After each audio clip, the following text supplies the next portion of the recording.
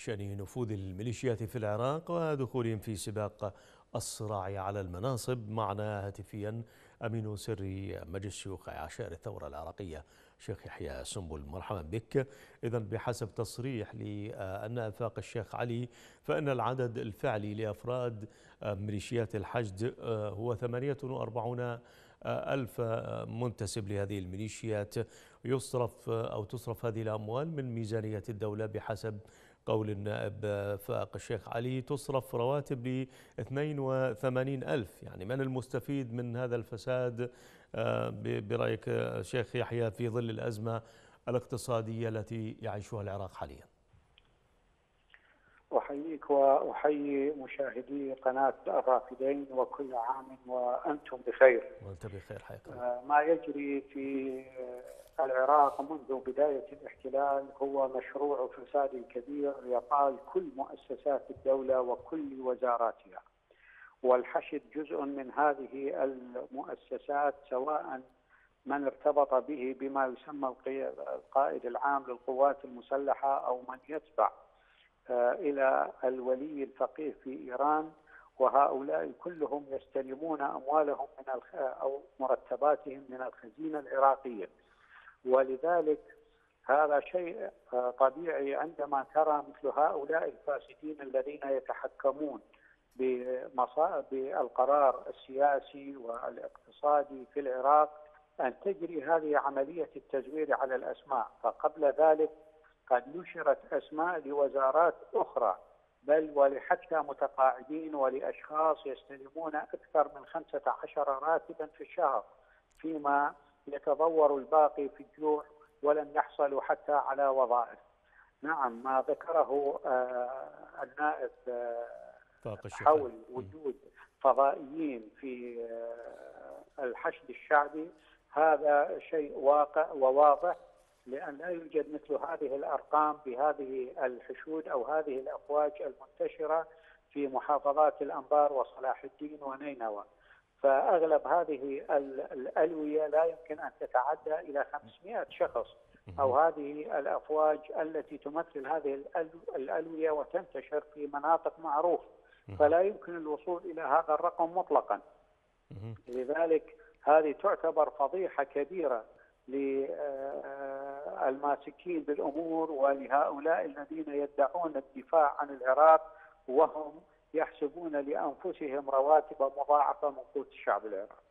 إذا ألا ترى أن من مصلحة قادة الميليشيات وأفرادها إبقاء النظام الحالي كما ذكر موقع Atlantic Council الأمريكي؟ حتما هؤلاء يقاتلون على إبقاء هذا النظام الفاسد لأنهم مستفيدين، ثانيا جزء من هذه الأموال تغطي نفقاتهم وأسلحتهم وفسادهم بشراء الأراضي والفنادق والدور والصرف على ملذاتهم إضافة إلى ما يذهب من هذه الأموال باتجاه إيران، لذلك هم آه، يحاولون الإبقاء على هذا النظام السياسي الفاسد بل ويدافعون عنه لأن مصلحتهم مع بقائه وعندما يأتي هناك من يحاول أن يصلح الأمور سوف آه، يصطدم بهذه الوجوه وهذه العقبات الفاسدة التي يجب أن يقتلعها من الأساس لأنهم هم أساس وجود هذا النظام الفاسد وهم أساس بقائه من أجل التحكم والسيطرة على موارد العراق وثرواته. اذا يعني ستتشبث هذه آه، الميليشيات أكثر بالمناصب والمكاسب التي حققتها منذ سنين طويلة. ولكن كيف تتوقع أن يتعامل الكاظمي مع هذه الميليشيات في ظل الضغوط الدولية التي تمارس عليه إقليميا ودوليا؟ الكاظمي هو جزء من هذه الوجوه التي جاءت بعد 2003 ولكن هذه الضغوط الدولية التي تمارس عليه فالأولى به أن يسير على منهج بناء المؤسسات الحقيقية وتنظيف العراق أو تنظيف هذه المؤسسات من من الفاسدين ومن حتى ولو بجزء واضح للشعب بأنه يعمل على تنظيف هذه الوزارات وهذه المؤسسات. ولو لوحظ أنه عندما شكل هذه الوزارة هي على أساس حزبي وطائفي ولا يوجد فيها أي تغيير. لذلك الكثير من الشعب هو في حالة إحباط ولكنه يعتمد أو يراهن على القرار الدولي في تغيير المسار لهذه العملية السياسية الفاسدة التي أتت على الأخضر واليابس في العراق والتي أصبحت مرتهنة بالكامل للقرار السياسي الإيراني.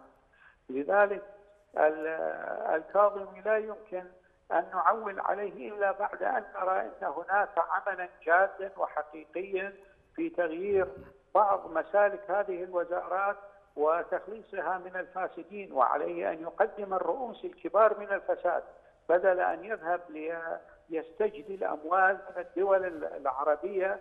ما لو لو اتصل بسكرتير رئيس الوزراء كان حصل على هذا المال ولربما أربعة أضعاف. فهناك من من الحيتان الفاسده الكبيرة التي امتلأت بطونها بالمال الحرام من هي تجلس الآن مع الكاظمي وهي تملك عشرات المليارات. من من الدولارات ولا يحتاج العراق إلى إلى هذه الاستجلاء من الدول نعم. لو كان هناك مؤسسة قضائية حقيقية تحاول تنظيف هذه الوزارات وإعادتها إلى مسارها الصحيح ومحاسبة الفاسدين عما اقترفوه من سرقات كبيرة من آه، موارد العراق. نعم. شكرا جزيلا لك امين سر مجلس الشيوخ عشائر الثورة العراقية الشيخ يحيى السنبولي.